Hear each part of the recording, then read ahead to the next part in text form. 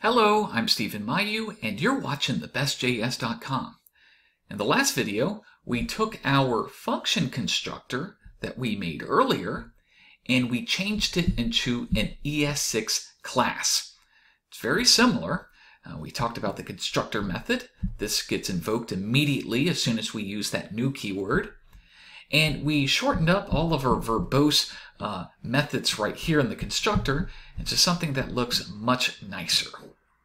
Okay, now in this video, we're going to talk about static class methods. You see, these methods are instance methods, and they belong to a specific instance of the class, like person 1, person 2, person 3. Every time we use the new keyword, we are creating a new instance. So all of these properties and all of these methods, they belong to that particular instance.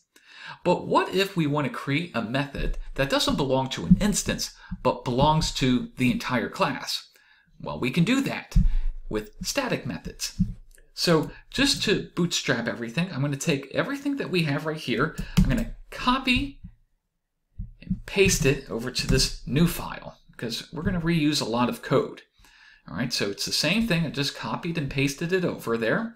But now we are going to create a new method. And it doesn't belong to the instance, it belongs to the class. And we're going to use the static keyword. We're going to call this species, the species method. And we're going to return Homo sapiens. Okay? So the static keyword tells us that it's not an instance method, but it belongs to the class person.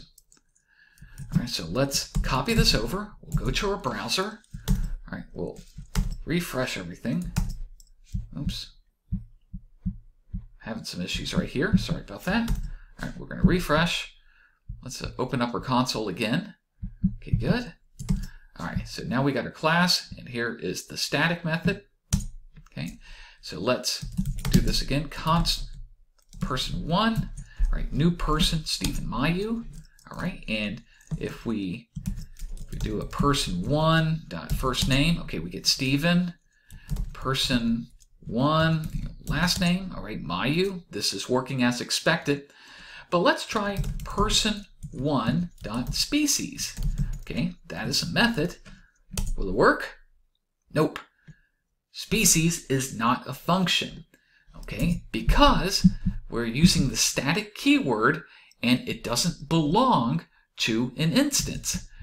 Person 1 is an instance.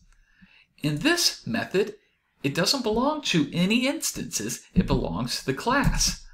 So if I said person dot species and invoke it, then I get Homo sapiens.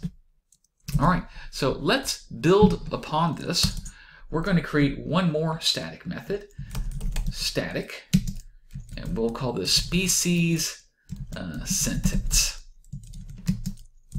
Okay. Return, right, humans are classified as, right, dollar sign, this dot species. Okay. All right, and I'm invoking it. All right, so let's copy and paste this. Go back to the browser, refresh. All right, so let's do const person one again. All right, and again, we can do the person, the species. There it is. Okay, that's looking good. But if we do person, species, sentence, and invoke it, humans are classified as Homo sapiens. Huh, now we didn't write Homo sapiens in that sentence, we wrote this dot species and invoked it. So what's going on in here? Well, normally when we use the this keyword, like when we used it in our function constructor and when we used it in our basic class, this referred to a specific instance. But, but, but, but, if you use the this keyword inside of a static method, it's not going to point to the instance. It's going to point to the class.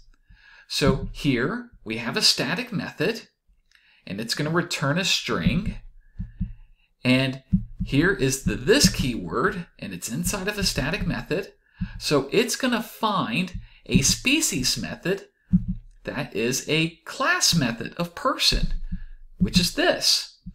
So this method, it returns Homo sapiens, and that's why we get the string humans are classified as Homo sapiens. All right, so before we conclude uh, this video, I want to talk about one other feature that isn't officially adopted in ES6 yet. So these are static methods, okay? They are functions. You have to invoke them and they return some sort of value. But if you are a React developer, you might come across something called static properties. So these are methods, but properties are just, you know, everything except for a function. They could be strings, numbers, booleans, etc.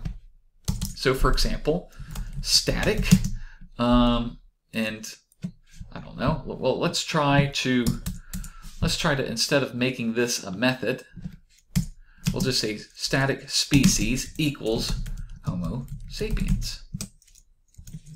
Okay, we're going to save that. Okay. We're going to refresh. Okay. If you try to do a static property, okay, just a regular variable and not a function, you're going to get an error. This is because static methods are official, they are officially adopted in ES6, but static properties, this part, is not. Now, uh, the problem is uh, a lot of people in React, they use static properties. So in order to get around this, uh, we use something called Babel. Just bring that over here, babeljs.io. We use something called Babel in order to um, use these extra features.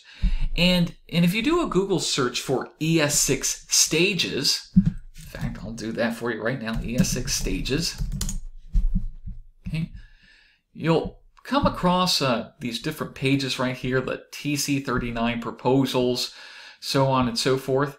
And uh, well, there are all these different stages. You have stage three, stage two, stage one, and stage zero. Now, now the ones that have been officially adopted, um, uh, these are going to be uh, higher numbers. Uh, and I think there's also a stage four. Uh, I, I, think don't uh, don't quote me on this, but but these are the ones that are approved or or are pretty close to being approved. But the, the other features that are stage two and one and, and stage zero, these are being considered for approval, but they're not quite official yet. And you have to use some Babel plugins in order to use these um, un um, these unofficial uh, uh, features of ES6. Static properties, they are an unofficial feature, and you need a Babel plugin in order to render this correctly. Otherwise, you will get the error as you have seen right there. Now, uh, we're not going to talk about that in this class um, because it's going to be a lot of setup, and I just want to show you an overview of classes. But please be aware that there are some features of classes that have not been officially adopted yet. And if you come across them, you are going to need some sort of Babel plugin so that it can work. But the good news for us right now is that we can still use static methods um, and they do a pretty good job of what we need. Alrighty, so uh, let's stop right here in the next video, we are going to talk about using classes, two or more classes together using the extends keyword. So let's take a break and I will see you in the next video. Bye-bye.